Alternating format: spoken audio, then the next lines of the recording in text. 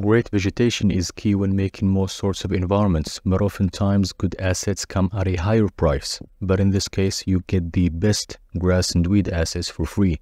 I'm not even exaggerating. I've worked with many asset packs and this one is the best that I tried not only for Blender but also 3ds Max and other softwares. Stay in and I will show you how to get all these assets and how to use the add-on so in future videos you can follow along using these grass assets. So after making an account at the Graswald website, link in the description, as always, make sure to download their add-on using your Blender version. In my case, it's 3.6. Go ahead and download the add-on from the website and after downloading it you will get a zip file which you will need to go ahead inside of Blender edit preferences and inside of edit preferences go to add-ons and press install. Locate the zip file and just press install and after doing that you will have the add-on ready to use. Now press N you will find a tab called G-Scatter. Locate that tab and it comes with a neat UI now, to use this, I usually like to be using cycles most of the time. And as you could see, it's very minimal, but it has a lot of useful utilities. I'm just adding a simple plane. For example, I won't be using it in a minute, but you will see what purpose it serves. For comparison, of course. Now, you might go ahead and choose, choose it as an emitter, but you don't have any assets to use the add-on is only 4 megabytes. Now I already installed some, but in your case you won't have any assets or environments. To get those, you will have to go ahead back to your uh, website and choose any type of environment or assets. Now you have a couple of options and each option has a bunch of subcategories based on the type of environment or biome you could go ahead and use. For example, the field meadow, I'm using, for example, the wild field meadow preset. Go ahead and download it. It will give you a zip file as well, a relatively big one, around 700 megabytes to 1 gigabytes. Press on the install button in the add-on and locate it and press install. I already done that, so I don't really have to. Once you do that, you will find your environments downloaded as well as the assets, individual assets. Press uh, you could go ahead and read more informations. And for the select terrain type you could go ahead and choose a default terrain which will create its own terrain or custom which you can get to choose what terrain to scatter on. And press add environment. As you can see we already have a super nice type of scatter. And I will be talking more about this in a minute. So as you can see we have many utilities and many options in the tab. For instance, we have the Ivy leaves display percentage, which gives you the option to only showcase a certain percentage in the viewport of the specific asset. And as you can see, this is using the geoscatter node, so not the regular particle system, which gives you a lot more control. And I will be showing you a couple of options for this in a minute. Now taking a look at this, you can go ahead and start to play around with, for example, the viewport display percentage, which is extremely important for the sake of optimization. Odds are you don't want to be, especially if you have a large screen, you probably don't want to see hundreds of millions of polygons inside of the viewport, and you will only want to see it when being rendered. So this slider is extremely useful. So instead of scattering 100,000 polygons, you only scatter 1000 if you go ahead and choose 1%. Now, as you can see, this does tend to lag a bit, which is why I'm speeding up the video, but it's well worth it. Now let's just take a look at the quality of these assets and remember this is only one pack, they have multiple packs in the dozen amount. And as you can see, if we scale up the grass terrain that we have added that uh, we have added it updates without going ahead and applying the scale if we do it in the if we do it in the edit mode. And it updated the distribution as well since we are using here based on density and not on count.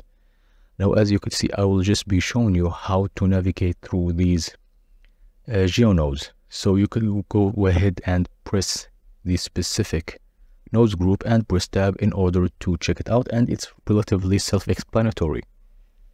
They did a good job with labeling everything. So you can go ahead and learn from this. You know you might even develop this to use for your own assets to scatter them in the future. Now as you could see we could go ahead and explore some of the distribution here which is extremely useful as well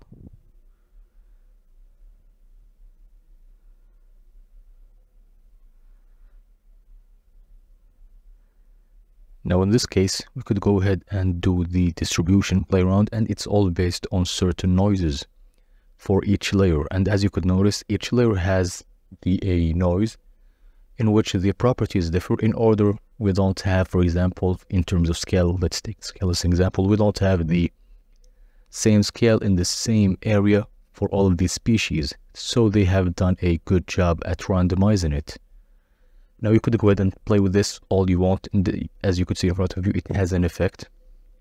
But in most cases, I found that the default works the best. Don't be afraid to play around with this. You know, just go ahead and learn, see the effects, what it does. It's self-explanatory for most of the time, and most of it, it's very visual. So you see the changes, hence knowing what each button and slider do. Now, after doing that, we could go ahead and play around with the optimization as I mentioned earlier using the viewport display. Now, it updates in real time and it's relatively very fast in comparison to regular assets. Now, switching from the viewport to render mode is extremely slow and this is not the real speed I sped up the video at this moment. Now the assets look extremely solid with any type of lighting. One other option for the sake of optimization is going ahead and uh, enabling the camera culling. To use this you need to add a camera and go ahead and peep through it, take a look through it. Choose your camera or you could go ahead and do the use active camera. Make sure that the focal length of the camera is matching the focal length in the column in the camera culling settings Personally, I would like to have a wider in the focal length of the G-scatter in order to to spawn some more assets where the camera can see in order to cast some very nice shadows. We could go ahead and play with the proxy settings and as you could see we have a couple of options here as well. I won't deep dive into each one of them but you know test out and see each what each one does. Now keep in mind, for this, it's applying it through, uh, through each type of uh, uh, asset layer. You could go ahead and create your own biomes by going ahead and scattering specific assets, making a certain layer setup or biome, and going ahead and choosing a couple of options here, for instance. By doing that, you can customize your own packs and biomes could go ahead and create a description, create a name, create a creator, and create and choose a terrain material as well as rendering a thumbnail to make it easy to distinguish. We also have some suggestions to download certain assets without needing to go back to their website and downloading a zip file. And as you could see, it gives us some really nice options. We also have some very handy extras like back in the uh, blend files with external assets so we can go ahead and send this somewhere else to a render or to a render farm for instance. We also have different options and you know everything you could go ahead and create up on the manual.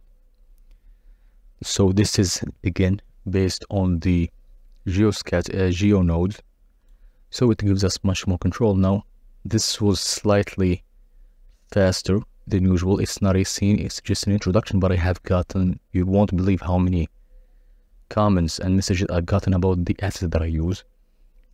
and this one is free so it's extremely useful for you to follow along the videos that I will be putting in the future or the ones that I have put earlier on. Now as always feel free to drop your comments down below feel free to message me on Discord and if you enjoy this subscribe maybe take a look at my Instagram where I share some more professional work and better quality stuff. Until next time, take care and enjoy yourself.